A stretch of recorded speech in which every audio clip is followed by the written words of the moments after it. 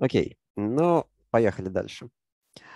А, смотрите, я сейчас хотел рассказать про две а, такие немножко более продвинутые операции, а, связанные с работой с данными. Давайте я начну с того, что называется ой, pivot, pivot tables. А, значит, давайте представим себе, что у меня есть а, тоже какая-нибудь такая табличка, в которой есть какие-то оценки. Ну, допустим, у меня есть табличка Gradebook, а, такой data frame.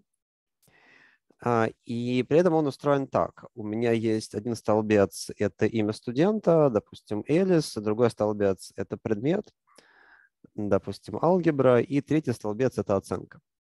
Допустим, 4. Ну и давайте я несколько а, таких а, штук сделаю. Значит, у меня есть Alice Geometry. Geometry. Будет 5. У меня есть какой-нибудь Боб. У него оценка по алгебре 3. И у этого же самого Боба оценка по алгебре. Пусть будет... О, не по алгебре, по геометрии пусть будет 5. Так, и давайте я какие-нибудь названия этому, этим столбцам присвою. А, значит, колонки называются, допустим, student, course, grade.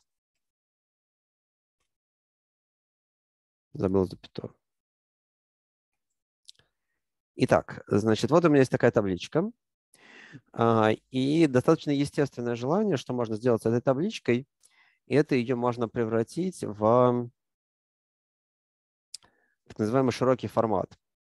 Но в данном случае не очень будет заметно, что он широкий. Давайте я добавлю еще, давайте я добавлю еще один, а, еще парочку строчек. Допустим, я добавлю Claudio, которая оценка по алгебре четверка, и у этой же Клауди оценка по алгебре, э, не по алгебре, по геометрии.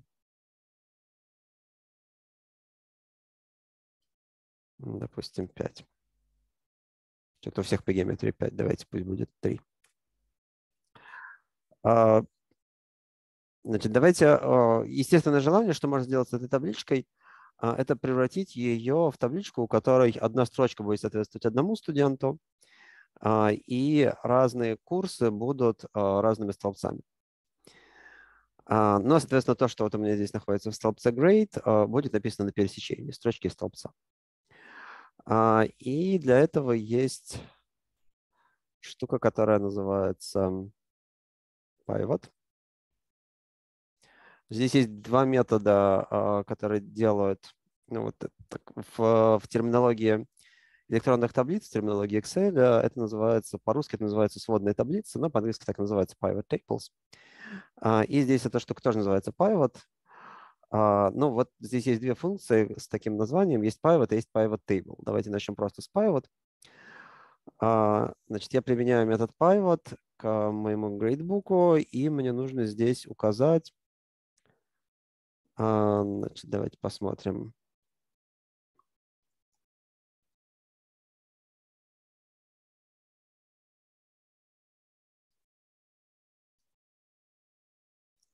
Значит, ну вот полностью это выглядит вот так. А, значит, чего здесь написано? Здесь написано, что я хочу сделать из вот такой вот таблички. Я хочу сделать табличку в так называемом широком формате. А, но она здесь получается не, сильно, не сильно широкая, но если бы у меня было бы больше разных курсов, а, ну вот, вот как бы если я добавляю вот в эту табличку либо курс, либо студентов, то она становится более длинной. А, и поэтому вот этот вот формат часто называется long, длинный. А если я буду добавлять э, курсы, значит, вот, вот, вот в это вот представление этой таблички, в новое представление, э, то она будет становиться более широкой, потому что у нас каждому курсу соответствует свой столбец. Столбцов будет становиться больше.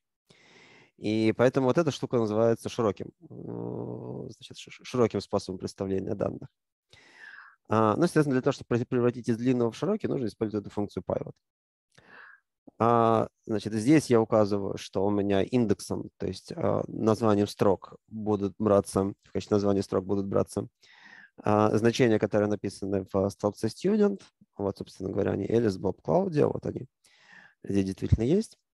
А название для колонок будет браться из столбца course. И вот у нас здесь алгебра геометрии, вот у нас здесь две колонки алгебра геометрии.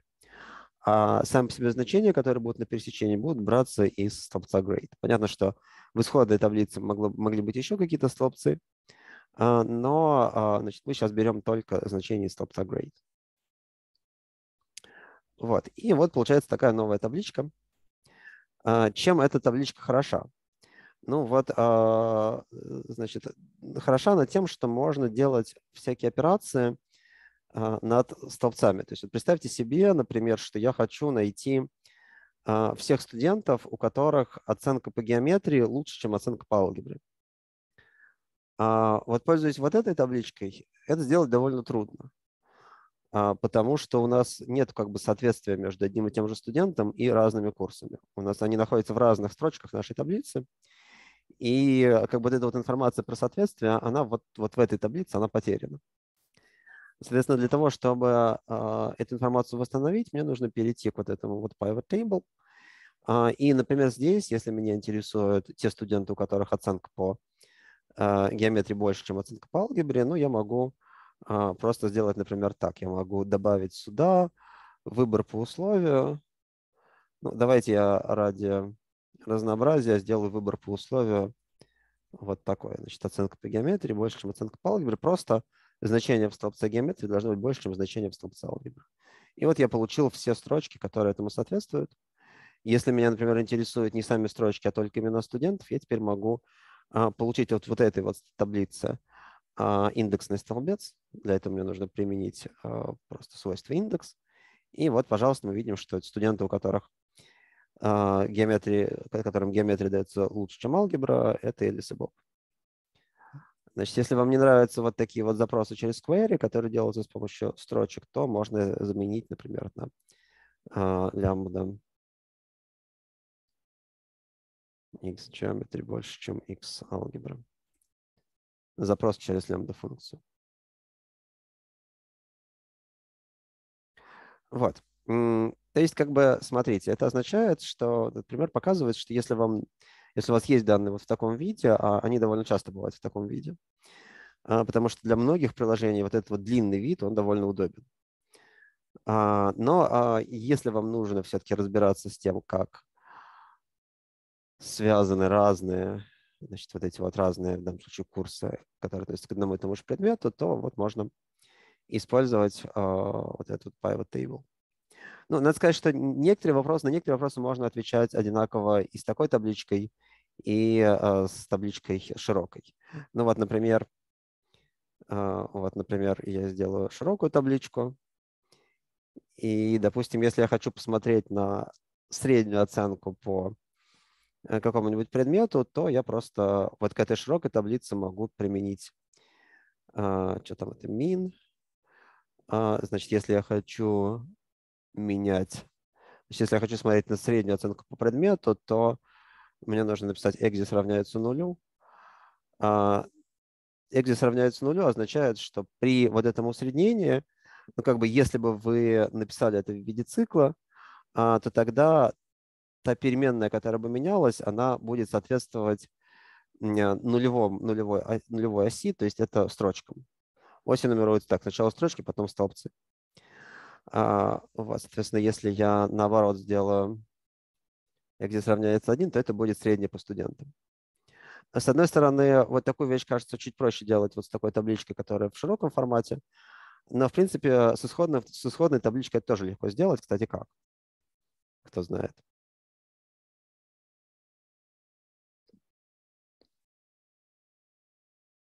Значит, например, вот я хотел бы посчитать среднее по всем курсам из исходной таблички. Получить вот такой вот series. Как это сделать?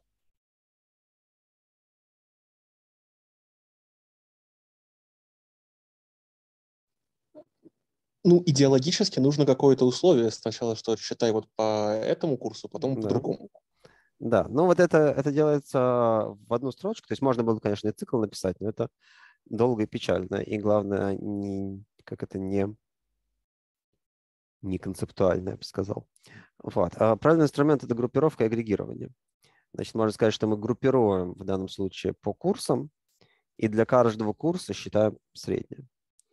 Значит, ну вот я получил, а, поскольку я просто говорю, что я считаю среднее всех столбцов, то у меня получился в результате не series, а data frame. А, ну, потому что теоретически там могло быть несколько столбцов. Но я мог бы, если бы я хочу посчитать только по одному столбцу, мог бы сделать вот так. Явно написать, что я хочу после группировки выбрать только столбец grade и от него уже делать усреднение. Ну, как видите, результат точно такой же.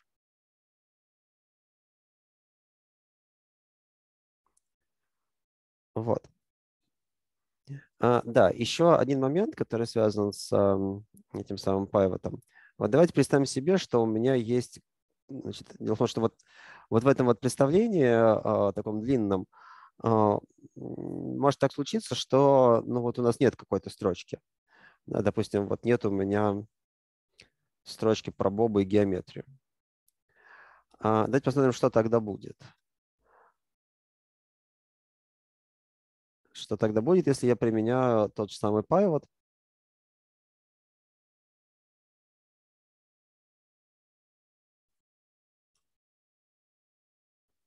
Ну, понятно. Поскольку неизвестно, какая оценка у Боба по геометрии, а, то мы здесь получаем none. То есть в этом месте у нас будет пропуск. А, и надо сказать, что Pandas по умолчанию, он очень ну, короче, все функции в Pandas по умолчанию пропуски просто игнорируют. То есть, например, если я попрошу теперь сделать усреднение по, а, по столбцам, а, то видно, что он мне геометрию, когда усредняет, он мне просто, просто считает среднее между вот этой пятеркой и вот этой тройкой. Получается вот эта четверка.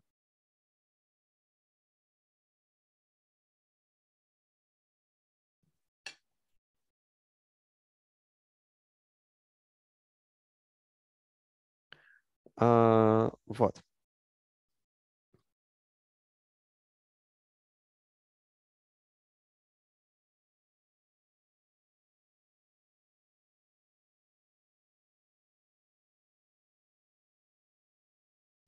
Окей. А, да, ну и, соответственно, это означает, что, например, вот такая штука, она будет давать точно такой же результат, как вот такая штука. Значит, если мы сначала делаем pivot, а потом усредняем, то это все равно, что сделать группировку по курсу и усреднить вот так. Ровно то же самое.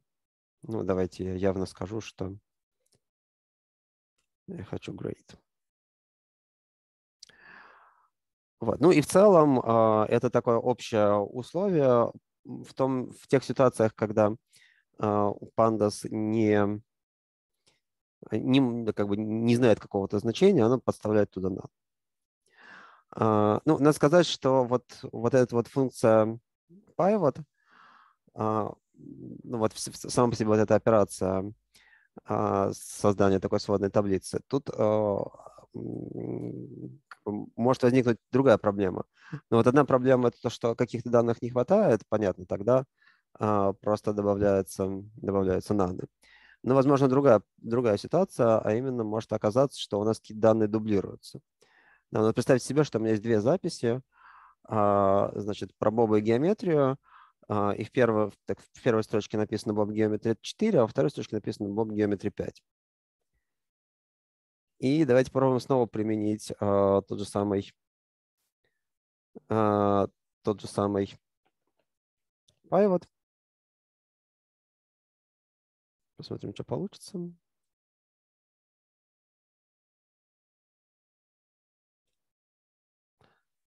Ну вот получается вот что. А, он говорит, что он не может такого сделать. Ну, ровно потому, что, ровно потому, что у нас дублирующиеся данные. А, но а, это просто так функция pivot работает. Есть другая функция, которая называется pivot table. И она будет работать по-другому. А именно Значит, у нее те же самые аргументы, единственное, что они идут в другом порядке. Если вы, если вы не названиями эти аргументы указываете, а просто пишете в каком-то порядке, в котором вы помните, то uh, Pivot и Pivot Table используют разный порядок. Не знаю, почему так, видимо, как-то исторически сложилось. Вот. Но вот здесь видно, что у нас происходит в этом случае с Бобом, а, а именно, значит, у нас была у Боба, значит, у Боба было две оценки по геометрии, четверка и пятерка, и в результате в сводной таблице у меня на соответствующем месте стоит 4,5. А, ну, просто потому что произошло усреднение. И на самом деле здесь можно не обязательно усреднение делать, а можно делать а, разные агрегирующие функции. Значит, вот здесь есть параметр agfunc, по умолчанию это усреднение. Но можно, например, сказать, что э, берется, вот у нас есть несколько, несколько строчек, и берется самое последнее значение. Ну, типа можно считать так, что вот у меня э, есть какие-то записи в журнале, и, например, если Боб сначала по геометрии получил 4, а потом 5, то это означает, что он просто исправил свою четверку на пятерку. Теперь у него пятерка. А, вот. И для того, чтобы эту, как бы, эту семантику передать, мне нужно использовать в качестве агрегирующей функции, использовать last. Вот. Значит, это вот функция чуть-чуть более хитро она работает, этот pivot table, он умеет делать вот такое агрегирование.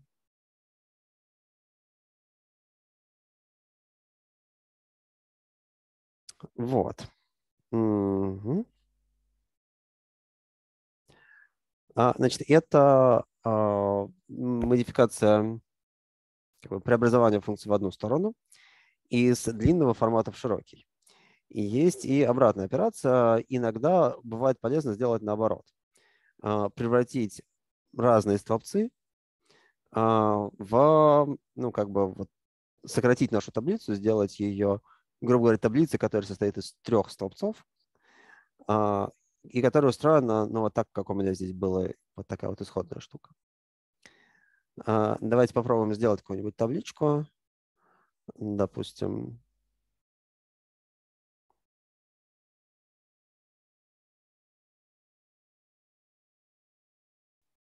Давайте я назову grades.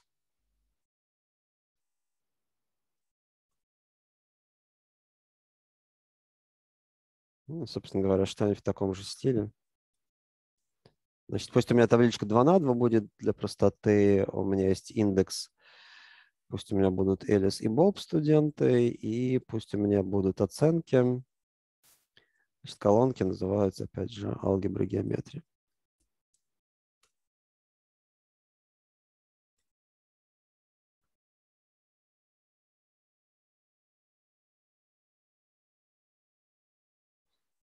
Сейчас, давайте даже не так сделаем. Давайте я сделаю вот это вот не индексом, а просто отдельным столбцом. Пусть у меня здесь будет Элис. И индекса у нас никакого нет. Вот кажется, так мне нужно сделать. А, колонки называются Student Algebraic Geometry. Давайте вот так. Значит, у меня сейчас табличка с двумя строчками.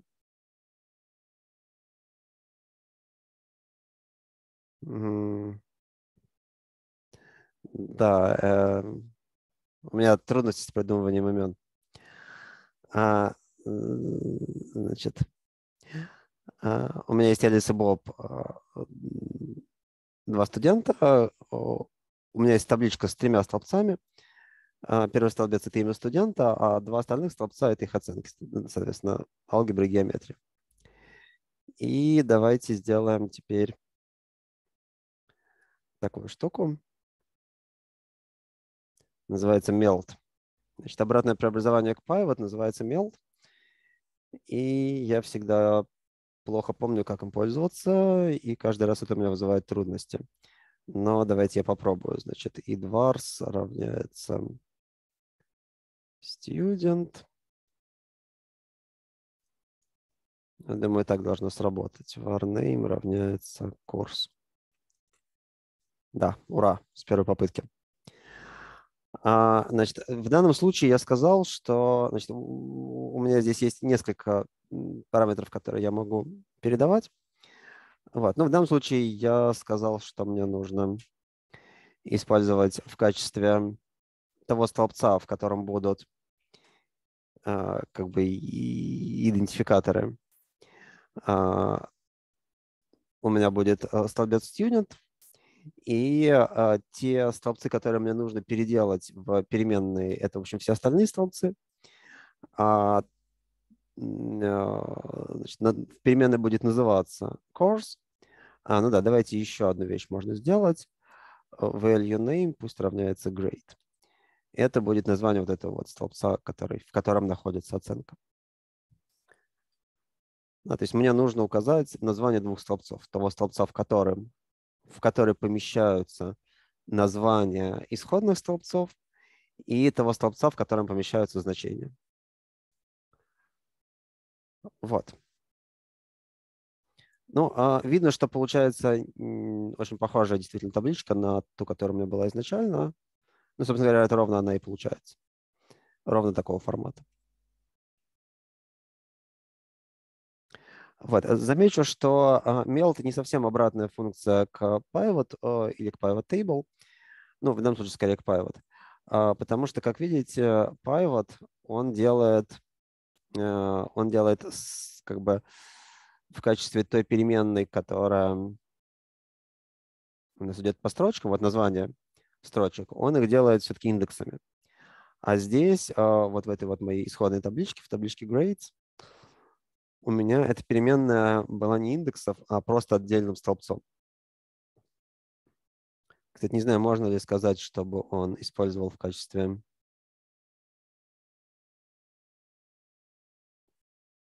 в качестве ID vars использовал бы именно индекс.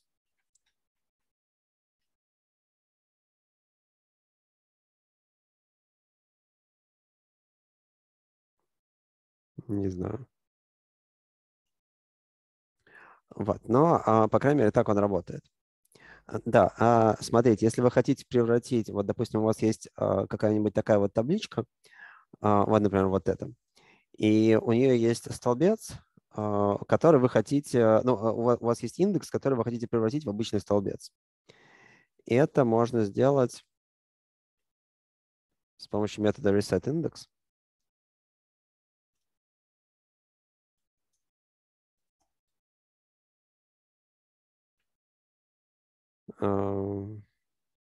Reset индекс просто сбрасывает индекс. Индекс теперь у нас снова 0.1.2. А, и при этом он создает столбец, а, в который переносит значение вашего индекса. То есть вот сравните, как оно было до reset индекса и как оно стало после. Вот, это иногда бывает полезно. Ну, а можно наоборот. А, если у вас есть какой-то столбец, который вы хотите, чтобы стал индексным, то вы можете его объявить индексом с помощью метода setIndex. То есть, в принципе, индекс — это как, как бы столбец, обладающий некоторыми специальными свойствами, потому что с помощью него можно делать э, всякий выбор. Это столбец, который, э, который учитывается при всяких разных операциях, но э, вот так вот его можно, соответственно, превращать в, обычный, в обычный столбец или, наоборот, обычный столбец превращать в индекс. А, если вам совсем не нужен индекс, то есть вам его не нужно сохранять в виде столбца, вам его нужно просто игнорировать, то вы всегда можете сделать reset индекс, drop равняется true.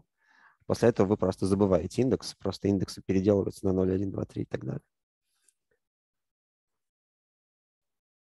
Вот. Окей.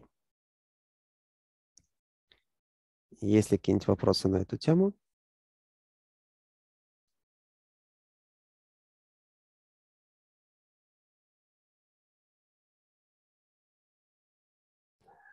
Хорошо, тогда давайте пойдем дальше.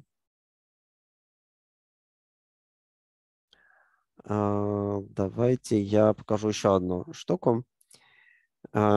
А, это штука, которая касается не столько pandas, сколько в целом ну, такой работы с табличками, а, но она много где присутствует.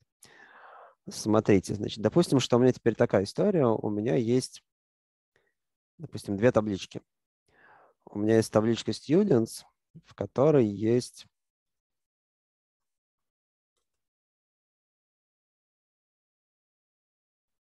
Давайте каких-нибудь новых, новых персонажей придумаем.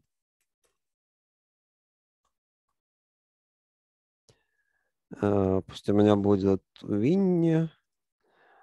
А, и, допустим, здесь будут какие-то чиселки написаны. И пусть у меня будут... Кто там был? Пятачок? Пиглет. Правильно? Пятачок так пишется? Тут будет, тоже, тут будет еще какие-то чиселки. И кто у нас там еще был? Сова, осел. Сова пусть будет сова. Совы пусть будет такие вот чиселки. И давайте я скажу, что такое мои колонки. Колонки – это, ну пусть снова это будут студенты, и у них есть какие-то идентификаторы. Допустим, это номера зачетной книжки. А, и у меня есть другая табличка, допустим, с оценками. А, и в этой табличке жизнь устроена так. В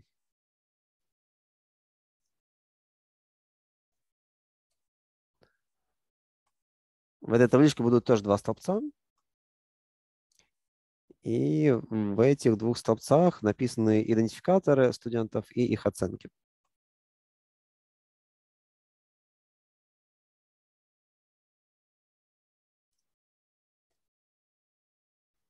Такая табличка. Значит, у меня были студенты, значит, у меня были, был студент Винни с идентификатором 4323, студент Пиглет э, с идентификатором 1242 и студент All с идентификатором 123. И теперь у меня есть оценки. А, да, давайте я им дам все-таки название для колонок. А, пусть будет вот так, например, Student ID, для того, чтобы было веселее. А, и Great, например.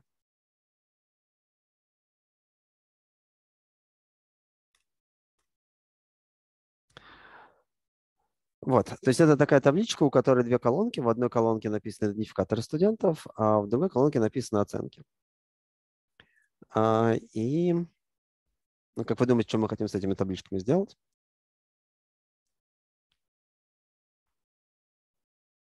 Спаять их. Спаять, да. Значит, мы хотим для каждого студента понимать, какая у него оценка. И у нас есть вот этот вот столбец с э, идентификаторами, и мы будем использовать именно его для того, чтобы понимать, как устроено соответствие между студентами и оценками. А, то есть как бы я должен пройтись по всем строчкам, допустим, в первой таблице, найти строчку, у которой такой же идентификатор во второй таблице и приделать, добавить к первой таблице столбец с оценками так, чтобы, ну, так, чтобы у каждого студента была соответствующая, соответствующая оценка. И давайте посмотрим, как это можно сделать. А, в Pandas по традиции на тему есть целых две функции, немножко отличающиеся по тому, как они работают. Давайте начнем с той функции, которую я больше люблю, merge.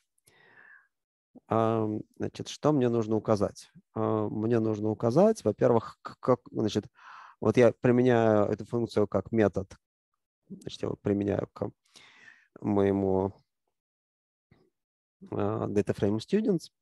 Я должен указать, какой столбец, какой frame я а, приделываю к frame students, значит, в данном случае это frame grades.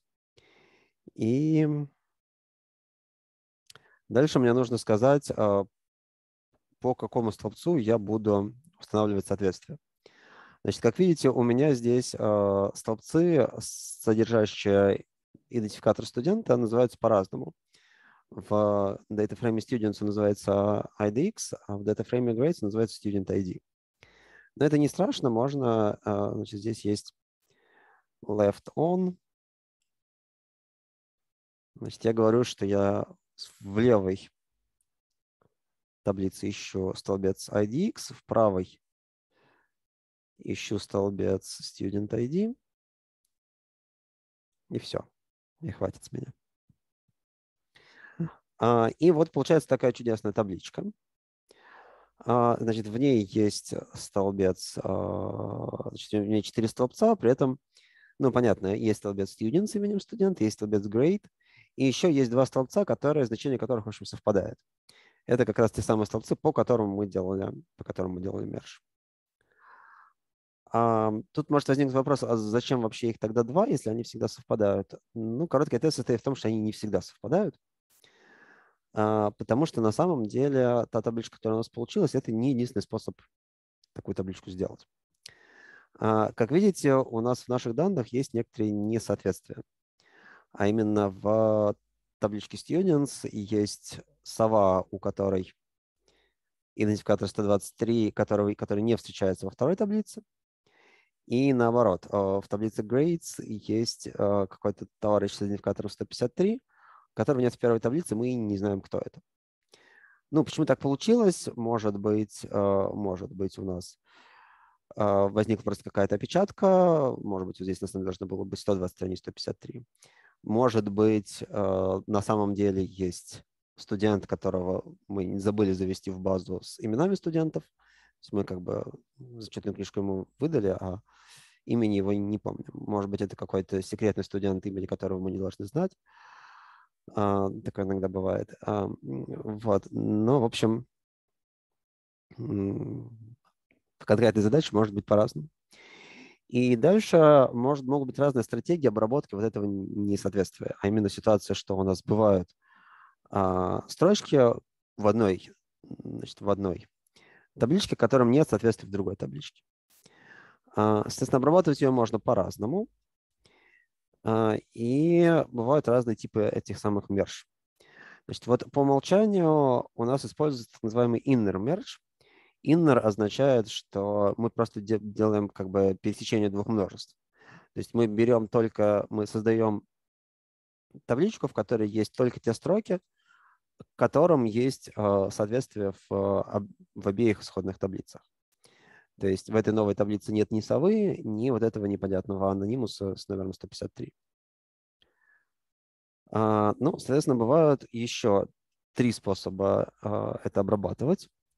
Во-первых, можно сделать left. Left означает, что все строчки, которые есть в левой таблице, будут учтены в правой.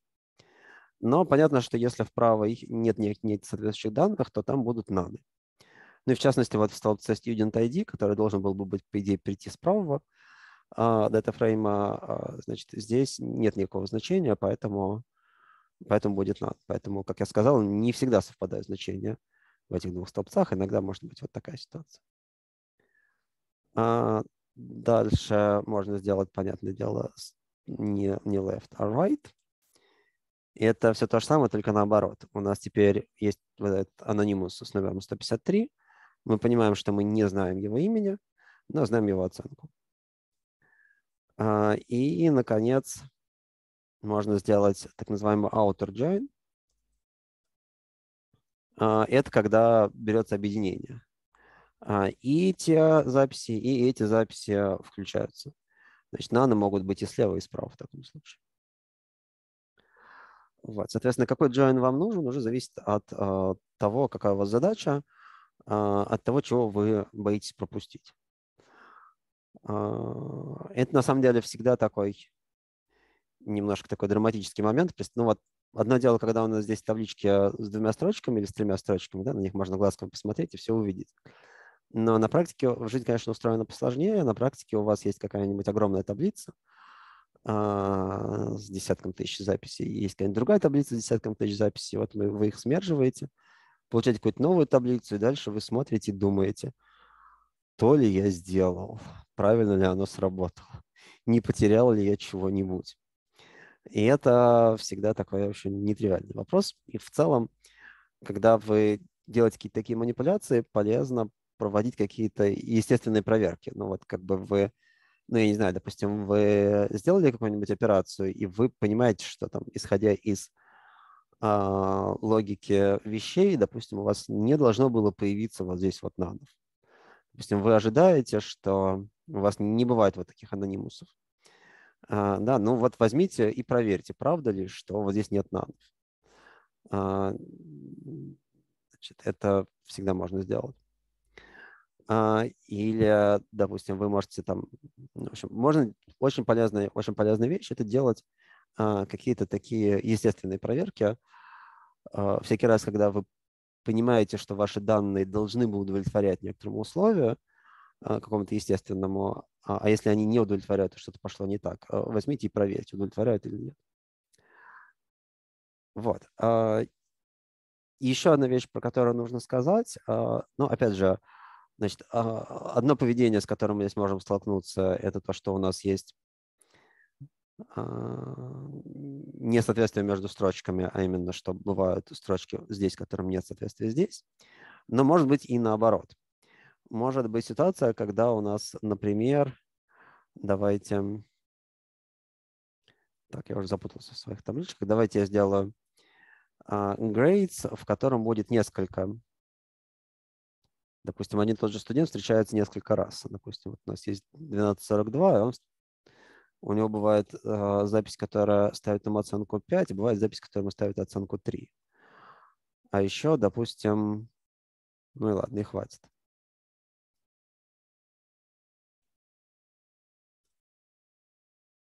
Так, что-то ему не нравится. А, не нравится ему то, что я запятую забыл поставить. А, вот, и давайте, давайте, чтобы совсем было интересно, давайте сделаем... Давайте сейчас со студентами что-нибудь сделаем странненько.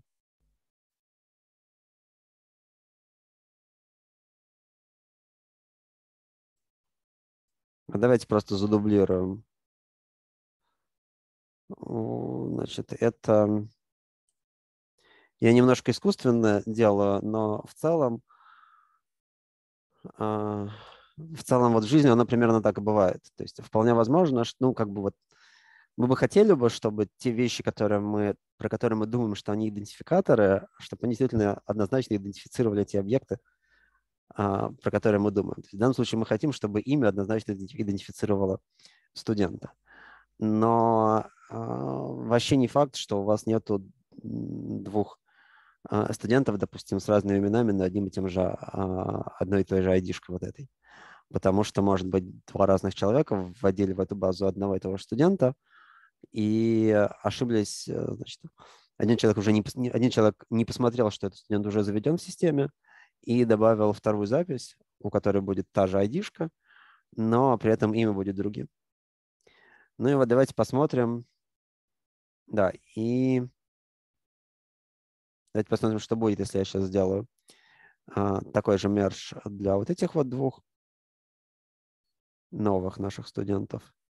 Ну, давайте я начну с inner, inner merge, того, который срабатывает по умолчанию.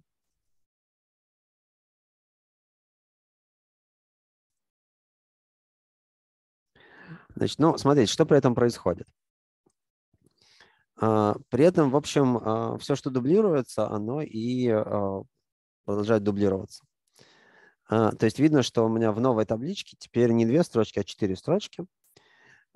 И у меня вот та часть, которая относится к студенту 4323, она приджойнилась к... То есть она размножилась в двух экземплярах и приджойнилась к обоим экземплярам Винни-Пуха. А с таким именем и с таким именем. И то же самое произошло с пятачком. А, значит, у пятачка теперь э, есть две строчки, которые соответствуют пятачку. Соответственно, оценка пятерка, оценка тройка. А, как вы думаете, а что было бы, если бы у меня бы была бы комбинация двух этих эффектов? А именно, давайте представим себе, что у меня вот здесь вот раздвоился не пятачок, значит, а как раз Винни-Пух. Вот такая вот штука. Давайте посмотрим. Как вы думаете, что будет? Значит, теперь у меня есть два, два Винни-Пуха, то есть два студента с идентификатором 4323, а, и при этом а, этому студенту соответствуют две оценки. Как вы думаете, что будет? Ну, я, я надеюсь, что все за, задвоится пару раз и будет в итоге э, четыре записи.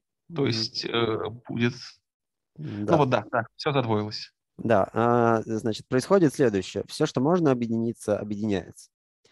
А, то есть, на самом деле, если вы помните, что такое Декартово произведение, то возникает именно оно. Как бы для каждого как бы вы берете всевозможные пары строчек слева и справа, у которых вот та штука, по которой вы объединяете, а, совпадает. А, и, с одной стороны, это такое самое естественное поведение здесь. А, с другой стороны, это иногда приводит к очень забавным эффектам. Например, в какой-то момент мне одна студентка прислала значит, датафрейм и короткий скрипт для работы с этим датафреймом. Это был не на, не на Python написано, а на R. А, и с комментарием, что у нее почему-то в компьютер выдает а, ошибку, что не, ну, хватает памяти. А, и я стал смотреть, посмотрел, ну, там какой-то датафрейм типа на 10 тысяч строчек, но, в принципе, любой современный компьютер должен уметь работать с датафреймом такого размера. А потом я вчитался в код, попробовал его запустить и увидел, что там происходит следующее. Там происходит мерж двух табличек или даже мерж таблички с самой собой. Такое иногда тоже бывает полезно делать. А, и суть в том, что в том столбце, по которому происходит мерж, а, огромное количество то ли нанов, то ли просто пустых строчек, ну, в общем, короче говоря, каких-то каких повторяющихся э, элементов. И их там типа очень много.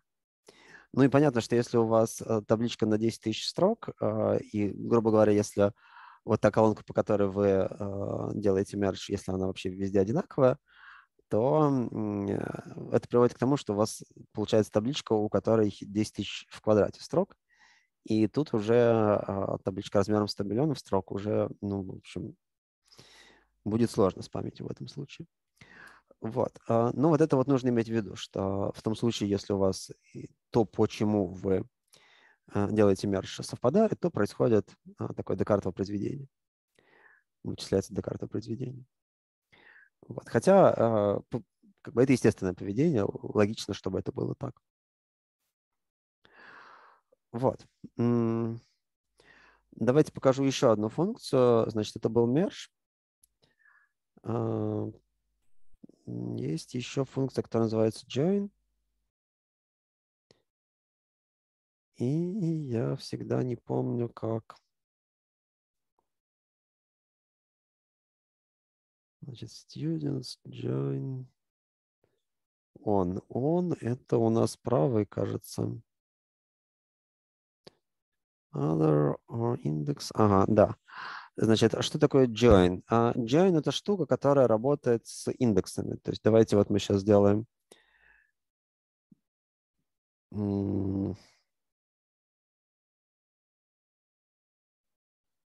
Давайте сделаем вот так.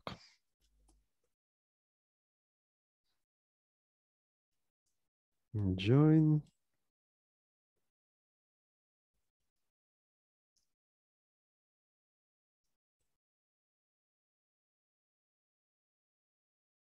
Не, не надо, не наоборот, так. сделать индексом Надо, ID. надо. Да, да, да, да, да. Это я ерунду пишу. Вот. Here student ID. Что такое? Или он наоборот хочет, чтобы я... А если так? Вот я говорю, я никогда не помню, как эта штука работает. А, так, ам, нам, нам. Set index здесь, видимо, должен быть.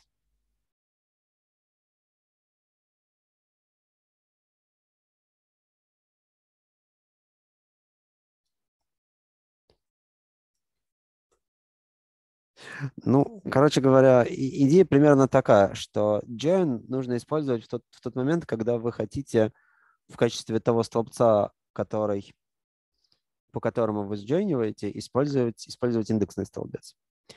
А, значит, давайте я сейчас все-таки пойму. Нет, видимо, все-таки не так.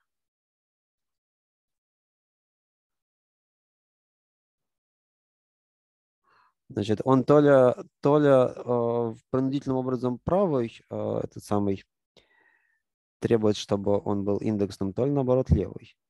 Но я никогда не могу запомнить, кто из них кто. Так, вот сейчас он нам сделал student ID и grade нанами, то есть он ничего не нашел. Э, окей, если я делаю так, то он тоже ничего не находит. Если я делаю так, то он говорит care. Значит, он все-таки хочет, чтобы я делал вот так, и, значит, вот так, а здесь мне нужно сделать вот так. Ух. О. Так, то есть, короче говоря, а, мораль такая. Мне нужно, чтобы в правом, а, значит, в правом э, датафрейме тот столбец, по которому мы джойним, чтобы он был индексным. В левом я могу джойнить по индексу, а могу джойнить по какому-нибудь другому столбцу. В общем, с моей точки зрения, join нужно использовать тогда, когда вам реально хочется сделать что-то по индексу. А, но в целом я, поскольку я не могу запомнить, как он работает, то я обычно всегда использую мерч.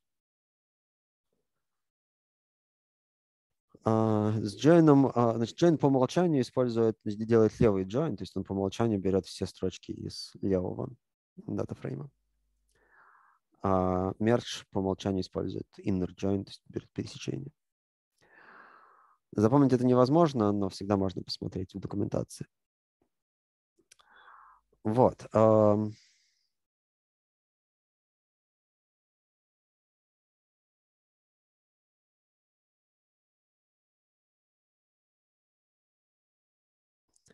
Значит, вот такая вот штука.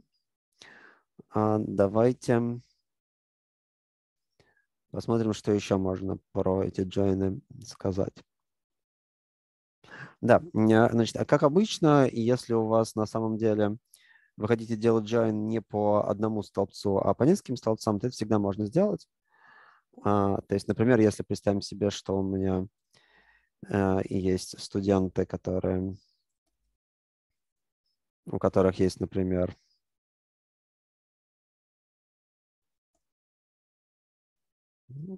имя и фамилия,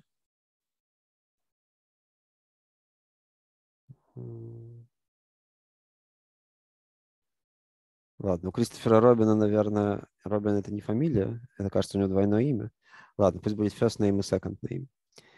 А, и, допустим,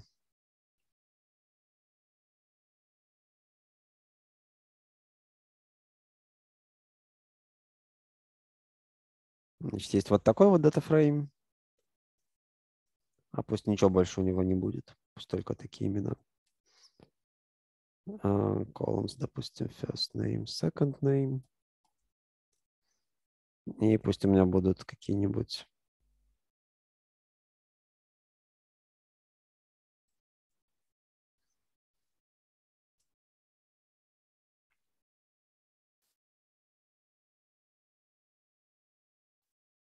Так, нет, это какая-то сейчас будет не очень осмысленная вещь. Давайте все-таки здесь э, добавим какую-нибудь еще информацию. А, что такого добавить? Возраст. Не знаю, сколько лет кому. Допустим, Винни Пуху 3, а Кристоферу Робину 7. А здесь пусть будут оценки, и пусть будут, допустим, здесь 5, а здесь 4.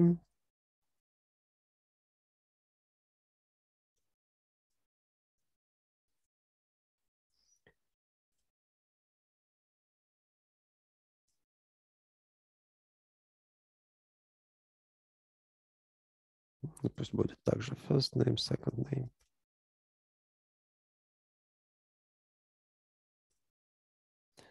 А, соответственно, их можно теперь смерджить. И можно сказать, что я хочу смерджить по паре. First name, да, пусть будет, будет тоже second name. First name, second name.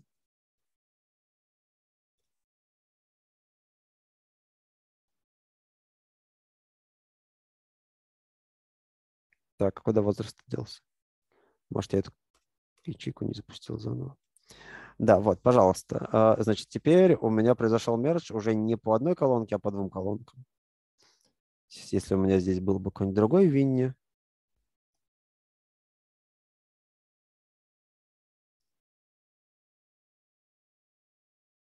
с какой-нибудь другой оценкой, то... Ой. Ну да, ну да, запятую забыл. Вот, то видно, что а, он не примерживается, потому что потому что у нас inner join, и сейчас э, соответствие ведется, поиск соответствия ведется уже по двум колонкам. Но вообще, как я уже говорил, э, во многих ситуациях, когда осмысленно сделать что-то не с одной колонкой, а с несколькими колонками, вы можете передать список колонок, и Pandas это сделает.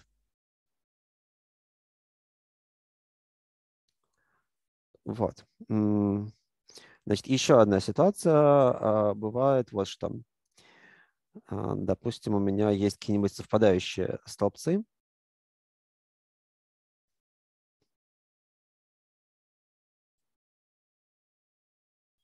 Давайте я возьму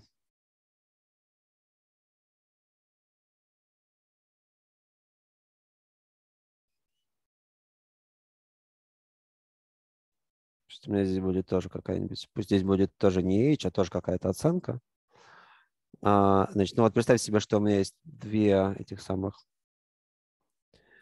а, две таблички, и в каждой табличке есть по оценке, и я хочу их, а, я хочу их а, смержить. Давайте посмотрим, что будет, если я попробую это сделать. Значит, ну вот по умолчанию он этим одинаковым столбцам значит, он к ним приписывает суффиксы. Значит, по умолчанию это x и y, но, в принципе, мы могли бы представить себе, что у меня на самом деле это две таблички, в которой там оценка по двум разным курсам. Да, я мог бы сказать, что вот у меня э, значит, суффиксы.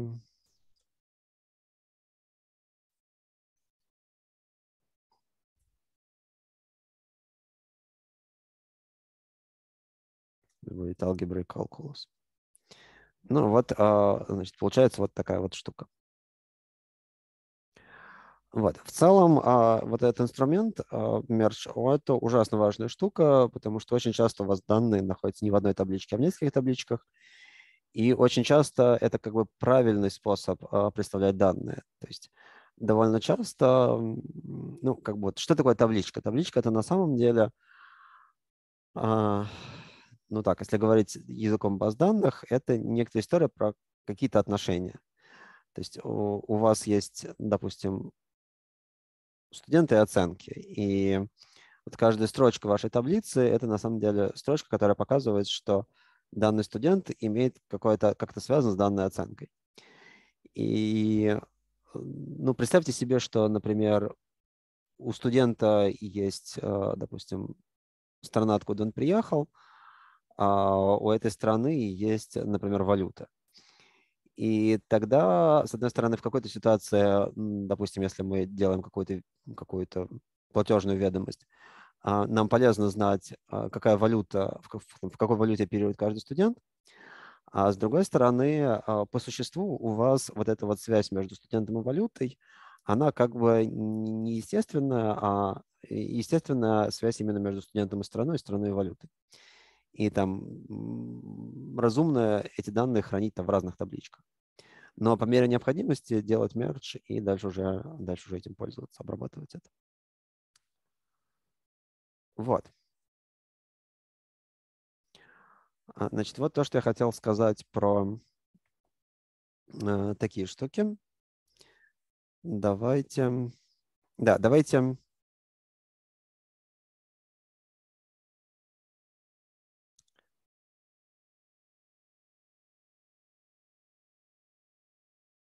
Значит, еще одну вещь покажу. А, смотрите, значит, в Pandas бывает необходимость а, что-то сделать там со всей табличкой, например, найти во всей табличке какие-нибудь а, значения, которые обладают каким-то свойством, и на что-нибудь их заменить. Давайте сейчас вернемся к какой-нибудь табличке, которая у нас была раньше. Давайте вернемся к вот этим вот табличкам с оценками.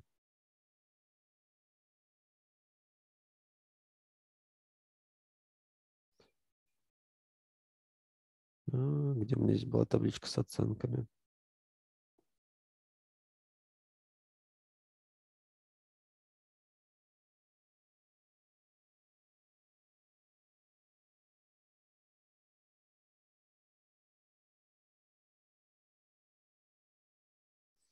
где я показывал melt. Вот, grades. Давайте вернемся к этой табличке.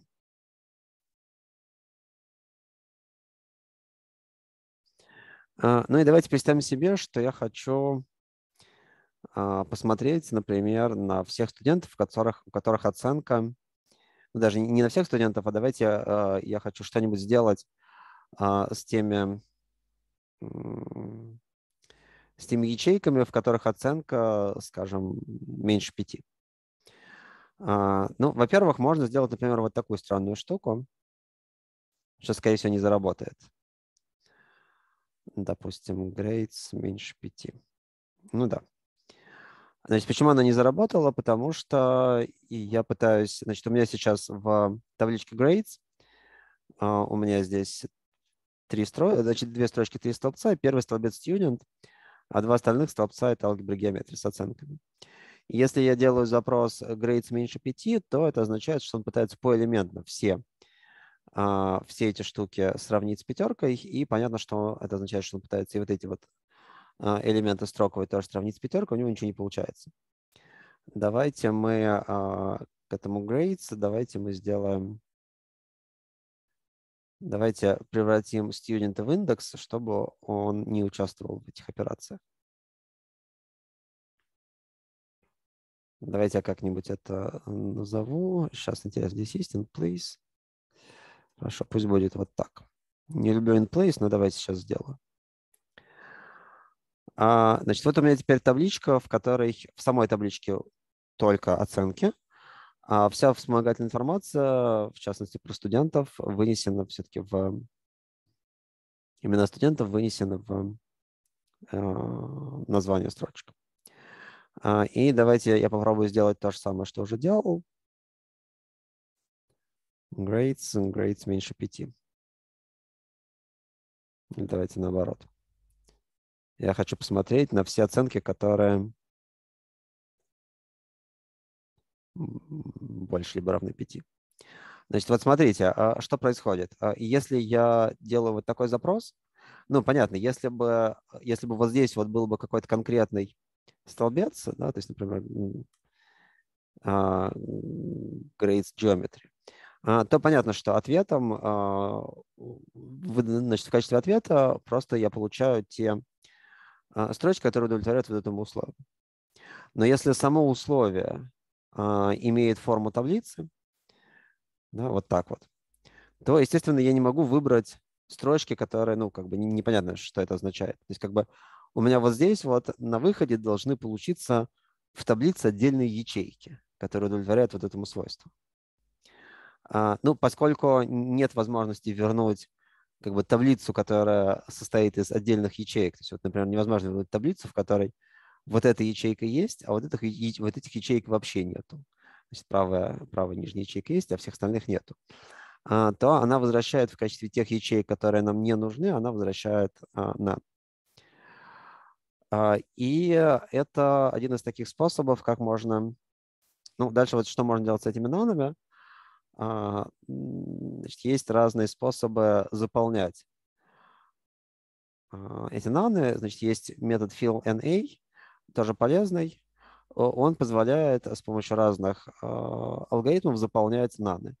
Ну, есть простейший способ заполнить все наны просто каким-то одним числом. Допустим, я могу заполнить все наны минус единицей. Или я могу сделать что-нибудь более интересное. Например, я могу заполнять наны, скажем, средним значением.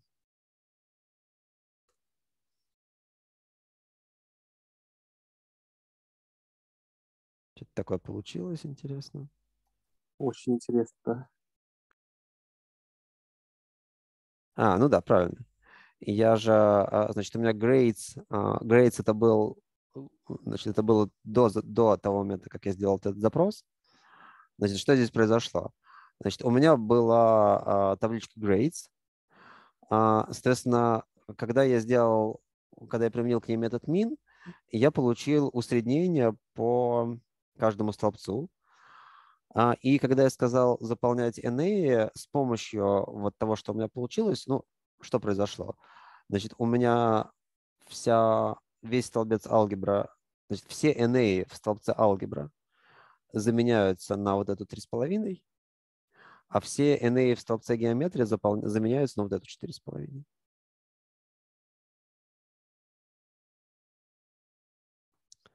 Вот.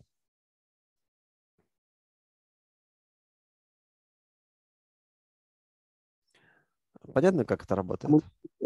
Я правильно понимаю, что мы могли бы э, в min, э, метод min, передать какой-нибудь аргумент, который бы сказал, что ну, э, нашу табличку постарайся ее расправить, чтобы она была плоской, и как бы ну, по всем значениям, по которым сможешь взять средний, вот по ним всем возьми. И тогда бы это было уже 4. Нет, тогда непонятно, что означает, что означает расправить. А, значит, у нас изначально была табличка 2 на 2, Непонятно, ну, как, как, как, как от нее брать среднее. Нет, на самом деле можно было бы сделать просто вот так. Можно было бы, например, смотрите, можно было бы сказать, можно было бы ничего не усреднять, а просто передать ей табличку. Давайте, давайте, чтобы было понятно, где что произошло, давайте я сделаю вот так. Значит, я взял нашу исходную табличку grades, а, поменял у нее знак на противоположный у всех чисел. После этого я сказал, что а, вот в нашей табличке, в которой оставлены только те оценки, которые больше либо равны 5. Вот э, все, те, все те ячейки, которые NA, нужно заменить на соответствующие ячейки вот из этой таблицы. Вот что мы получили. Мой вопрос скорее про то, что я правильно помню, что у метода min, э, ну, у него же может быть аргумент access, да? Да, может быть, да. Но вот если вы здесь сделаете, если вы сделаете вот так... Я, собственно, а... имел в виду, там э, может же быть какой-то можно сделать, дать ему такой аргумент, чтобы э, он смотрел на все значения в таблице, а не вот, например, не только по столбикам, по строчкам. А, в смысле, вы хотите, вы хотите, чтобы он усреднил вообще все? Да, да, да. Ну, а, просто я, я понял. убедиться. Я понял. А типа по... Не помню. Индекс columns.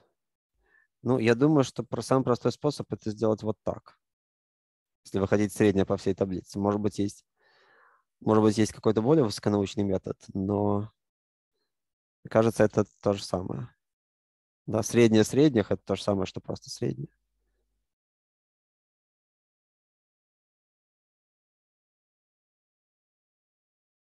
По линейности.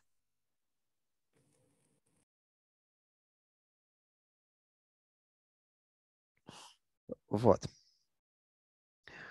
А, ну, вообще, а, значит, этот самый Fill, Fill NA – это такая довольно полезная штука. Она по-всякому умеет а, по-всякому умеет заполнять пропуски. Например, она может просто брать, например, значение с предыдущей строчки, у которой, у которой не было этого NA, или наоборот. Ну, в общем, короче говоря, по-всякому.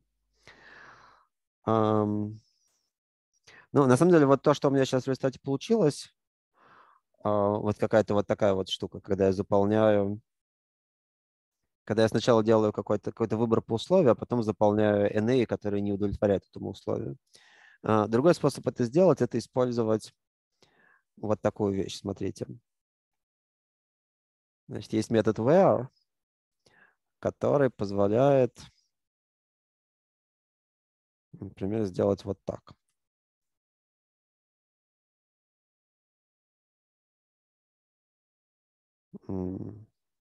Давайте лучше наоборот, вот так сделаем. Значит, что вот эта штука делает? Она говорит, что а, там, где grades больше либо равняется 5, а, она будет оставлять grades, а во всех остальных, а во всех остальных ячейках она поставит минус единицу. И опять же, вот здесь вместо минус единицы может быть, а, например, может быть какая-то новая таблица, Например, вот так. Вот, то есть вот этот вот where – это, э, опять же, такой аналог. Ну, во-первых, в NumPy что-то похожее у нас было. Там есть, э, там есть функция npwhere. Но э, как бы про него можно думать как про замену оператора if. А, то есть в том случае, когда у вас рука тянется к тому, чтобы написать цикл и внутри цикла сделать какой-то if – а, но при этом вы работаете с какими-то пандасовскими датафреймами, то, скорее всего, вам нужно что-нибудь вот, что вот в этом роде, что-нибудь вот этого where. Там дальше, вот, ну, в NumPy он может заменить еще там, где true. А, эта штука также работает? Ну, то есть заменить там пятерку на что-нибудь там, на 10. Ну, как бы вот эм, на что она заменяет, это вот левый аргумент этого where. Не, я имею в виду заменить ту, которая э, в значении true. Ну, то есть... Да, нет, э, смотрите, ну как он работает. Вот там, где вот, э, там, где вот эта штука true, туда подставляются, вот там, где вот это условие true, туда подставляются значения вот отсюда, из левого аргумента where. А там, где оно false, а туда подставляются значения из правого аргумента. А, все, понятно. Ну, то есть не совсем нампаевская. Не совсем, да, не совсем, чуть-чуть по-другому работает, да, да. И это на самом деле иногда с этим возникают трудности, потому что здесь приходится Ой, ну, приходится иногда, иногда задуматься, как бы нам нужно сначала изготовить тот датафрейм, на который мы хотим заменять, и к нему применить метод where. Но, в общем, ну, в общем, это работает. Ну вот, например, если бы у меня бы, если бы я хотел бы, чтобы у меня бы слева было бы, допустим, одно и то же число, а, это же мне что нужно было бы? Интересно, здесь есть какой-нибудь аналог допустим, once like. Нет.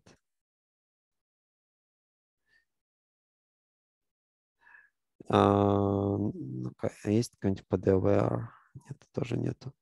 То есть, если бы я хотел бы, чтобы у меня слева было бы, допустим, не data frame, а просто одно число, то тут, конечно, нужно было бы как-то повозиться. Я вот, не знаю хорошего способа это делать. Надо посмотреть. Потому что тогда мне нужно было бы изготовить датафрейм, который просто имеет нужные мне нужные размеры и при этом состоит там из сплошных единиц, допустим. А, это, конечно, тоже можно сделать с помощью какого-нибудь реиндекса, но, кстати, а, вот, есть такая штука, например, индекс like. Интересно.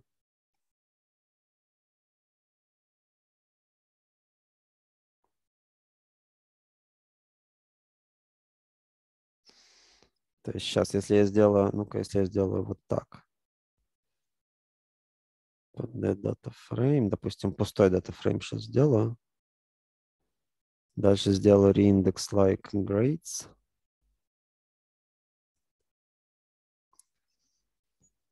Ну, в общем, да, это, конечно, не, совс... не самый интуитивно понятный способ. Может, есть что-то более изящное? Ну, вот сейчас я сделал так. Я все, что больше либо равняется 5, заменил на вот эту единицу, а все, что меньше 5, заменил на минус ту оценку, которая там была. Не шибко изящно, но заработало.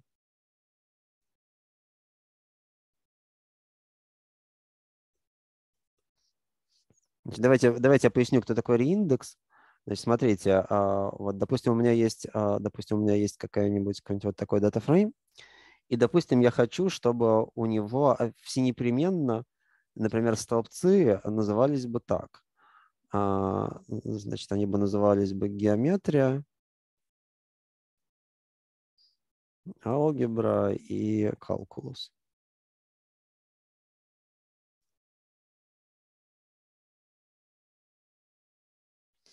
Значит, я это могу сделать вот таким образом. А, метод реиндекс, он делает следующее. А, он заставляет соответствующий индекс таблички быть таким, каким мы сказали. А, при этом, если это добивается, если этого можно добиться путем перестановки столбцов, он делает перестановку столбцов. Видите, он мне геометрию поставил на первое место, алгебру на второе, потому что я так попросил. Но если у меня есть столбец, которого просто нет, в исходной таблице, то он этот столбец все равно добавляет, но просто это означает, что там будут наны.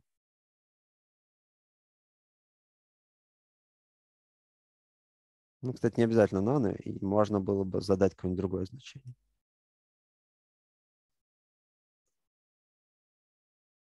Вот. Это иногда бывает полезно, когда вам нужно привести две таблицы в некоторое соответствие, чтобы они бы выглядели бы одинаковым образом. Вот, соответственно, если бы мы бы наоборот бы какой-то из существующих столбцов не указали бы, то он был бы, он был бы опущен. А, это в какой-то мере похоже на то, что вы просто выберете вот так, вот выберете нужные вам столбцы, А вот такой способ, если вам нужно просто переставить столбцы а, местами, то можно просто сделать вот такую вещь. То есть в качестве, в качестве ну, в квадратной скобке подставить список, э, и он будет восприниматься как список столбцов, которые нужно вернуть.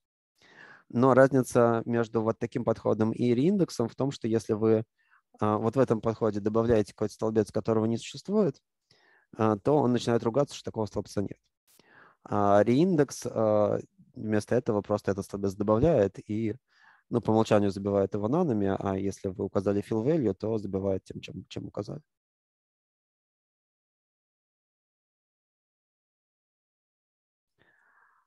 Вот. Ну, кажется, я рассказал какой-то существенный, существенный кусок всяких довольно продвинутых штук в Pandas. Значит, если какие-то вопросы?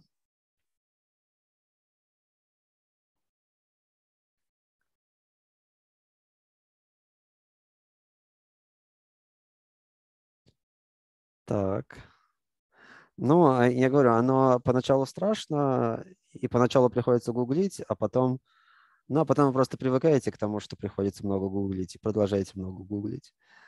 Вот. Но, ну, в общем, да. А в какой-то мере история про Pandas – это история типа «забудьте все, что вы знали про программирование». Ну, собственно говоря, оно в какой-то мере началось еще с NumPy, потому что мы сначала два месяца учили всякие циклы ифы, а после этого бабах у нас есть э, несколько домашек, в которых написано, что циклами пользоваться нельзя, ифами пользоваться нельзя. Вот, и как-то приходится думать немножко по-другому.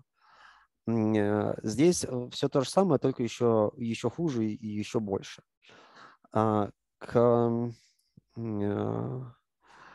в защиту этого подхода хочу сказать, что он в некотором смысле более такой концептуальный. То есть когда вы начинаете писать такой императивный код с форами и ифами, ну, кроме того, что он в питоне работает довольно медленно, и это было бы полбеды, не всегда вам нужна большая скорость, но э, он, ну, как бы, на самом деле, как, если вы будете пытаться делать что-то что такого типа э, с табличками с помощью вот форов и, и всего такого прочего, то вы, скорее всего, а, заметите, что вы начинаете изобретать свой собственный пандас, потому что вот те, а, те методы, которые здесь есть, ну, в частности, вот всякие штуки типа там группировки агрегирования, превращения табличек из длинного в широкий формат или наоборот, вот такие вот штуки, а, они, они как бы, ну, вот это реально то, что вы делаете с данными. То есть дум, когда вы думаете про преобразование данных, это некоторые естественные операции, которые, которые при этом возникают. Вот. И если вы будете пытаться их э, писать там с помощью форов, ну, нет, вы, конечно, напишите, но это будет менее понятный код, э, чем если вы будете пользоваться вот такими вот более концептуальными штуками, идиоматическими, как говорят программисты.